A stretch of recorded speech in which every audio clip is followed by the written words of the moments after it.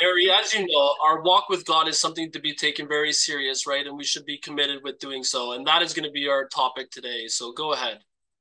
There's an old farmer analogy about commitment. Farming used to be a very difficult trade, and they used to have the breakfast story to describe levels of commitment, the bacon and eggs comparison. In this comparison, they tell they say how the chicken is involved, but the pig is committed. I know that this is not very spiritual or Jewish, but it resonate with it resonated with me for many decades. Many times I have told people it's not your commitment that matters, but your commitment to your commitment. Everyone is committed to something, sort of. But is it real? Are you real? Then get it done. One of my favorite Bible stories on this matter happens in Egypt about 1800 years ago. Joseph has been sold into Egypt 22 years before as a slave by his brothers. For 13 years, he's been a slave, first to Potiphar, and then in the prison as a slave, also helping there. When Joseph explained the king's dream, Joseph was made the king's top man, collecting all the surplus grain for seven years to be sold during the famine that was to come. All was well, except that the famine also reached his family back home. Joseph's brothers heard there was grain in Egypt, so Jacob's ten oldest sons went there to get grain. So far, so good. This is all part of the plan of God. Unbeknown to them, Joseph was screening all foreign buyers, knowing that his people would appear someday. Joseph was very formal to his brothers, but did not at all reveal who he was. Joseph asked about their parents and extended family. They told Joseph they still had a younger brother at home. Joseph accused them of being spies and jailed Simeon until they, for now, till they came back. He said that to prove they were honest people, they would have to bring their youngest brother on the next trip to get food. They went home really sad. Father Jacob was horrified and said, No way. The brothers said it would be okay. Could you read verse 42, 37?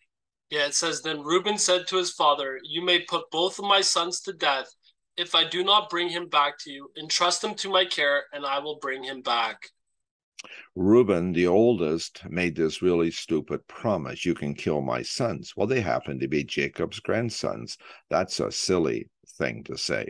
Could you now read 43, 8, and 9?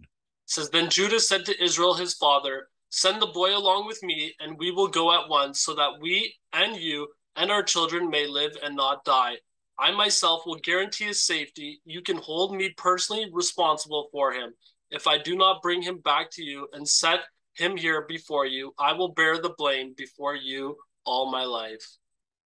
Judah, the number four son, said, I will be responsible for Joseph, and he meant it. They went back, all was well. Simeon was released, and Benjamin was presented, got their grain, and heading home. Now Joseph tested them. He put his royal cup into Benjamin's sack, and as they were leaving, had his guards pursue them, check the sacks, and they arrested Benjamin. They all went back to plead for their brother. Judah spoke and told the long family history of, of what happened to Joseph, uh, sorry, to hit to Joseph, and then said, Could you read 44, 30 to 34? So now, if the boy is not with us when I go back to your servant my father, and if my father, whose life is closely bound up with the boy's life, see that the boy isn't there, he will die. Your servants will bring the gray head of our father down to the grave in sorrow. Your servant guaranteed the boy's safety to my father, I said, If I do not bring him back to you, I will bear the blame before you, my father, all my life.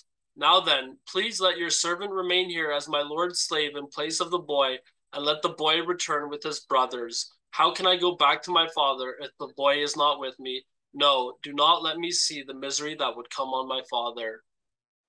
When I read these verses and realize what he meant, I get all choked up. Judah begged Joseph to be Joseph's slave instead of his brother Benjamin. And this is in presence of everybody, just wanting, begging if he could just stay and let Benjamin go free. Judah offered up his life forever as a slave. Judah passed the test. From the tribe of Judah, we have King David. From the tribe of Judah, we have Jesus, our Lord and Savior, who also did lay down his life for all of us. Amen. Thanks a lot for this, Harry. Thank you.